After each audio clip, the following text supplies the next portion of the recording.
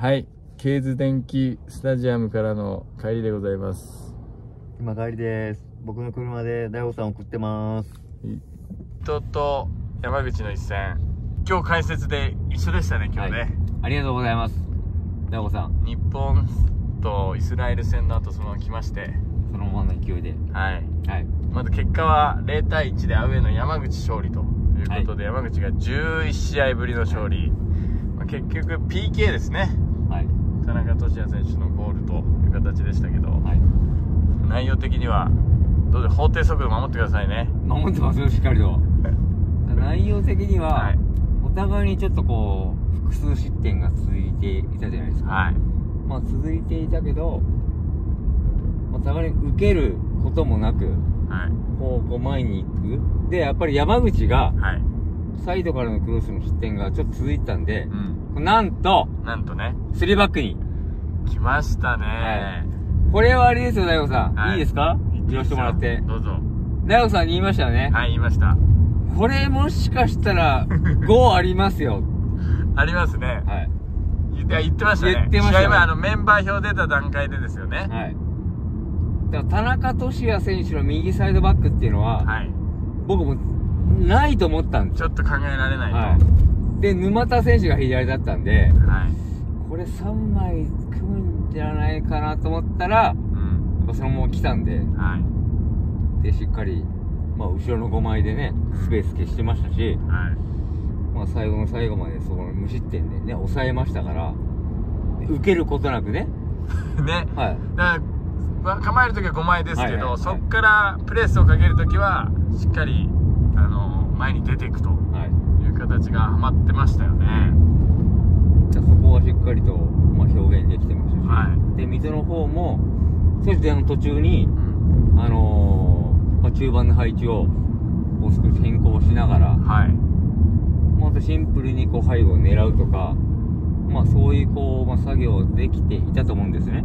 えあれ中盤の配置ってあれだから武田選手が右にいませんでした最初。最初ね。はいで杉浦前田のダブルボランチだったところが、はい。前半途中に武田真ん中で杉浦右にしてましたよね、はい。ななんだったんですかね。しっくりこなかったんですかねなんかね。しっくり来なかったっていうのもあったんじゃないですかね。うん。でやっぱりほらあのーまあ、前節も武田先生ボランチで起用したじゃないですか。まあ、そこをまあやっぱりこう浜崎監督がまあいろいろこう考えながら、うん。まあそこ配置変更したと。バランスそっちの方がいいかなっていう。思うんですよね。まあそういう中でもなんか前半0-0でまあ折り返したじゃないですか。はい。あんまりこう悪くない感じはありましたよね。そうですね。水戸の方も。皆さん、はい。ルームミラーでバッチリ顔映ってるんで大丈夫です。あ本当ですか？後ろ見なくて。本当ですか？はい。すいません。じゃあ。の目があはい。しっかりあの映ってます。前で。じゃあ前前で。はい前だけを見てわかりました。構えないで。わかりました。受けずに行きます。後ろに受けず受けずにに行きます。一個アクシデントというと、うん。まあ、両チームの選手が脳震盪で交代になっちゃいましたけれども、まあ、水戸の永井選手とあと左山口のザシユアン選手が頭ちょっと接触して交代という形になってしまって、まあ、だから水戸の方はサイドバックがちょっといなくて成瀬選手も急遽ね期限付きで取って、ね。まあ、今日はあのメンバー外でしたけど、はい。前節は前田選手がサイドバックやったっていう中で永井選手がね積極的にシュートまで行くシーンが何本かあってはい。それでちょっとそのねサイドバック今日は大丈夫だっていう感じを見せてただけにその後井上選手を入れて、まあ、井上選手はやっぱさい、ね、攻撃的でですからね。そうですよね。まああそこはちょっとねこうまあアクシデントで。はい。まあ残念なね。まあ致し方ないですけどね。そうですね。あの交代をね。まあそこでまあ水戸回りですよね。うん。後半のスタート？スタート。井上選手と杉浦選手のところ、はい。もうあの配置変えたじゃないですか。ガラッと変えて、はい、まあ、そこも、まあ、やっぱり井上選手の良さっていうのはこう前に中盤で、まあ、そこ生きる選手だと思いますから、まあ、はいそういった中で、まあでも本当に紙一重な展開ではありましたよね。ですね、はい。チャンスはまあ水戸の方が最初何本かあって山口は枠内シュートは多かったですけど決定機みたいな前半はあんまりなかったですもんね。キーパーの中山選手がヒヤッとする場面ははい。ほぼなかったと思うんですよ、うんうん、でもだから山内からすると、まあ、ここ最近は先制をずっと許してて、まあそうするとなかなか逆転っていうのは難しいからまあちょっとしっかりと構えて、うん。あの5バックしながらそれで戦って徐々にこうリズムを掴んで後半 PK でって、まあ理想的な形だったですよねだから、そうまあ、守備で崩れることなくね、はい。まあやっぱりこう PK ではありますけどそこでしっかりで 5, 5試合ぶりの先制点で、はい。まあ、あれも本当に大きかったと思いますしはあとやっぱ受け受けることなく、まあ、交代のね選手ももう前の選手。いあれ良かったですね、はい。野寄選手と菅野選手かな、はい。もう1点リードして別に流れ悪くない時に入れましたもんはい。ねだから2点目取りに行く姿勢。はい。で前からの守備の強度を上げるっていうのも目的だと思いますけどはい。取りに行く。行くんだっていうね。行くんだっていう。前に行くんだっていう,、はい。こう中山もう元気監督がねそこ見せてくれましたからやっぱりフォワードですからね中山監督。そうでしょうね。でいついつ正式監督になったんですか？今日。いやもうわかんちょっと僕暫定監督って最初ちょっと言っちゃってて。チームから急に情報が入ったんですよね。そうですね。エルゴラの資料とかにも暫定で指揮を取ってるって書いてあったんで。でねホームページとかではコーチが暫定で指揮を取るみたいなところからまあいいんですねそのでもだからそれぐらいチームっていうかクラブとしてもこう信頼を置いてるっていうかうん。ってことでしょうね。そうですよだって山口出身ですもんね。高高川高学園。川学園。まあですから。だから今日梅田選手水戸の梅田選手は、まあ、大先輩っていう感じですかね。まあそういう、まあ、思いがねやっぱりそのチーム愛が、まあ、ある監督だと思いますから。はい。いやーでもあと大悟さんいいですか？どうぞいいですか？これ言わせてください。どうぞ。山口のはい。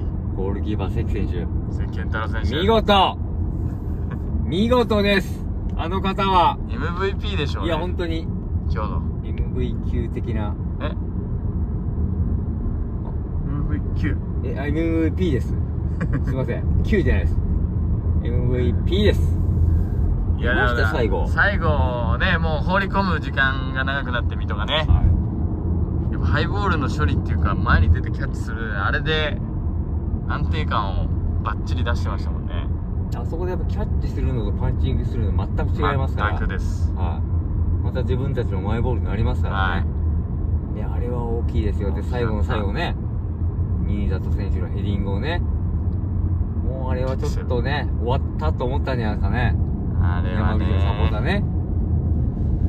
逆に言うと水戸はどう点を取ります。2試合だから点取れてないんですよね。そうですよね。そこの、まあ、難しさでもやっぱり押し込む展開もあったと思うんですよね、はい。まあ特に左サイド。はい。小原選手為梨選手。はい。でそこまでしっかり入り込めてますけどやっぱ最後のアタッキングサードのところはやっぱ当然やっぱ精度は当然求められると思うんですよね。うん。そこの質を上げるとか、はい。まあシュートもねまあシュートもそうですけどそこねやっぱりこう確率精度をこう上げていくしかないと思うんですよね。でも僕はちょっと一個ねあれなんですけどやっぱちょっと寺沼選手スタートから行ってほしいんですよ。でそこにもうねある程度ちょっと放り込むみたいなんでもいいんじゃないかなと思うんですけどね前進するところも。もう割り切って割り切るも割り切り切り切らなくてもいいけどなんかターゲットがいればセカンド拾う時もあればみたいな。うん。でだからじゃあ寺沼小原の縦関係2トップとかどうでしょそうですね。そこの感だからセカンドトップ気味ですようね。そうそだからこう衛生的にこう動き回る感じですよね。うそうです。いやそれは悪くないと思います。で小原選手がなんかシーズンの最初に比べるとやっぱできること増えてきてるというか、うん。でも本来できるところがやっぱ J2 のそのスピード感とかに慣れてきて、はい。そろそろ俺が引っ張らないとみたいはないはいはい。風に思ってもらって結構な 思ってもらえ思ってもらえないと多分水戸からしたらねそれがポテンシャルやっぱあるじゃないですか。そうですよね。いろいろできるし。うん。そこに井上選手とかのキレキレ感とか、うん。前田選手とか武田選手とかも絡んでくればなんかあるんじゃないかなっていう気はしてるんですけまあ、どはっきりね基準点を作るってことですよね。寺沼はいはいはい。強いっすもんやっぱり、まあやっぱりまあ本当収まりますよね、はい。相手背負っても。あれは強いっすね。だからまあそうやってだからなんですかね攻撃の、まあ、逃げ道じゃないですけど、うんそうそうそうそう。まあシンプルにやるところはね、はい。まあ、シンプルしく考え込まないことだと思うんですよね。なるほど。ビルドアップのところでも。はい。でねやっぱりね相手よりこう、まあ、得点をね上回れれば、まあ、勝ちですから。だから前に行ってゴールに迫ればはい。いいわけですからね。そこで当然難しいですけど。まあ、怖さは絶対あると思うんでベラルマ選手がいるとね。ま山崎監督もねいろいろこう難しい局面だと思いますけどね。あ点が取れないって言ってましたからそうなんですよ。ねまあよりなんか甲子園は握りたいっていう感じじゃないですかそうです。はい。そうです。そうなんですよね。そこのなんだろうこう理想と現実じゃないですけど。折り合いを。は逆に言えば山口はある程度それをね今日は構えてずっとやっぱ握りたいっていうのは夏香さんの時というか、なんかずっと山口ってあるじゃないですか、いはい。でこれで勝ってて次長崎でしたっけね。長崎です。だ本当に昔からですよねレノファって。攻撃的なチームじゃないですか、はやっぱ理想は握りたい。ねいはい。自分たちでしっかり前進してっていうのはありますけど。だからもうそのベースがあったらただ90分のうち絶対握れる時間ってあるじゃないですか。その選手もそれ慣れてるし相手ちょっとスペース空いた時にそういう時間が作れれば今までやってきたことはなんか無駄にならないような気がするんですよ今日だって大月選手とかもやっぱ張ってくれるじゃないですか前で。はい。ああいうの助かりますよねやっぱりね。イーブンなボールでもある程度入れれば、はい。なんとかしてくれるじゃないですか。でなんか一発でパーンと跳ね返されること少ないからみんなのセカンドへの意識もちょっとこう前にこう重心がかかったりとか。だからや山口もしかしたらだからこれで次も勝てたりとかいい試合できたらこれがベースになっていく可能性十分ありますよね。まあきっかけをこう掴むねそういうこうターニングポイントになってほしい、まあ、ゲームではありますよね。はだから3でも4でももう使い分けできるとい思うんですよ。できますよ、はい。だからそういうこう柔軟性は本当に山口に出たんじゃないですかね、はい。これでね。ヘナン高橋でまた強いですからね。強いっすよ。高橋選手174驚きましたね。いやなんかもっとなんかありそうな感じありますけどね。ムチムチですもんね、は高さもねヘディング強いですもんね、だってあそこの PK につながるのもね高橋選手上がってきてクロスそうですもんね。じゃあサイドバックもできるけど4バックのうね、ん3バックの右とかも結構適正ポジションなのかもしれないですね。そうですよね、まあ、そういう本当にこういろんな選択肢が増えたと思うんで。はい。本当に山口大きい価値ある1年さんはだと思いますけどね。確実に。受けなかったですから。そこなんですよ、はい。大事ですからね。間違いなく。というわけでまあ裏天王山とも言えるはい。一戦でしたけど。まあ水戸はまた次ね。はい。大宮。はい。青上大宮。大宮も失敗ですけど。これで。これはちょっと見逃せないですね。まあ下もことなくですよね水戸はね。は頑張ってほしいと思います。いでは奈良さん、はい。乗せていただいてありがとうございます、はい。ヤオさんもう寝てください。おやすみなさい。ありがとうございました。奈良橋の醍醐味チャンネルいいねボタンとチャンネル登録をお願いします